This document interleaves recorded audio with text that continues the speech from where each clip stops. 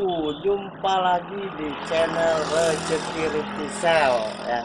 Kali ini channel Rezeki Ritisel akan membahas Bagaimana cara tentang mengaktifkan kartu XL ya. Ya sekarang akan saya kasih tahu bagaimana caranya untuk mengaktifkan kartu XL ya dengan cara memakai kartu keluarga. Caranya seperti ini ya kalian bisa. Memasukkan kartu ini ya. Jadi buka dulu ya. Nanti kalau ini sudah dibuka seperti ini ya. Ini kartu XL ya, masukkan ke dalam handphone ini. Dalam handphone.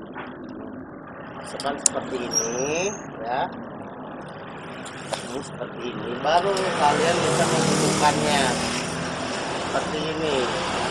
Kalau sudah hidup tunggu sampai ada tulisan selamat datang di menu registrasi. Seperti itu ya. Nanti kalian bisa lihat bagaimana cara mengaktifkannya. Nah seperti ini tulisannya ya. Nah seperti ini selamat datang di menu registrasi ya. Kalian harus mengisinya dengan nomor NIK dan juga kartu keluarga seperti yang ingin saya contohkan seperti ini ya. Lihat. Kalian bisa melihatnya. Seperti ini. Oke. Setelah oke masukkan nomor induk kependudukan seperti ini ya. Nomor induk kependudukan.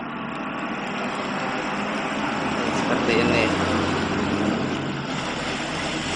eh salah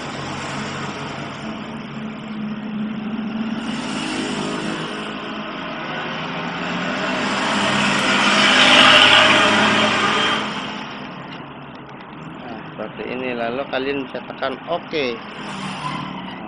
Oke. Oke. Kalian pilih nomor 2 oke.